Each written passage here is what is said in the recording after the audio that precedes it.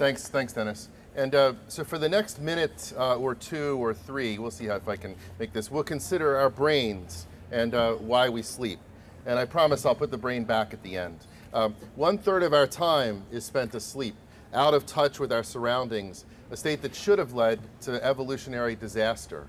Yet, sleep remains essential. On a nightly basis, sleep allows our brain to recover from a busy day. Researchers, including those working with me in the Lynch Laboratories in the Department of Biology here at Penn, have found that sleep enables the storage of memories.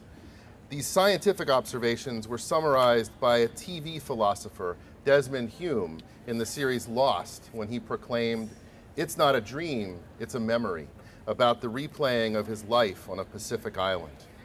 We all realize the impact of pulling an all nighter, but what are the molecular and cellular mechanisms that go awry in our brain? A clue comes from our tradition of drinking coffee to stay awake. Caffeine inhibits the chemical adenosine, which causes us to feel sleepy. Our research with Phil Haydon at Tufts University and Marcos Frank here at Penn has revealed that the source of adenosine in the brain is not the nerve cells that we all think about when we think about the brain, but rather the glial cells that surround and support those neurons. Over evolution, the ratio of glial cells to neurons has increased. In worms, there's one glial cell for every five neurons.